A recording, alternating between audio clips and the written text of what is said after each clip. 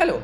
There could be certain days that you are not available or you know you want to go on a vacation or take a break and uh, you know you want to uh, you know block that time off so that you know none of your clients could book them. And that is supported by Appointo. So to do that let's click on the manage button and go to any of our variants out here. On the right hand side, we see add date overrides. This basically means that you are overriding an appointment date, uh, you know, to mean specifically to block or, you know, to change the timings. So as of now, as, as we see, you know, our Sunday is booked from 9 to 5.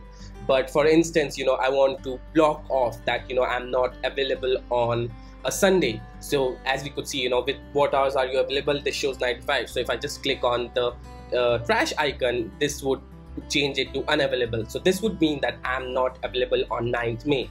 I click on apply and here I again see that you know I'm not available on 9th of May and I click on save and close.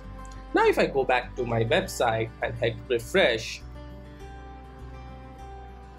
I will see that 9th has been blocked off which essentially means that you know I'm not available on that day. And it's not uh, required to you know it's it's the the feature functionality doesn't only limit to being unavailable. You can also add a different time. So for example if i'm just available of 9 to 5 on sunday in in a general scenario but you know i have some work on that day and i'm only available from 2 to 5 i could do the same thing. I could go in here 9 and select 2 to 5 so what this will do is you know it, it will override that particular date or will block off those time.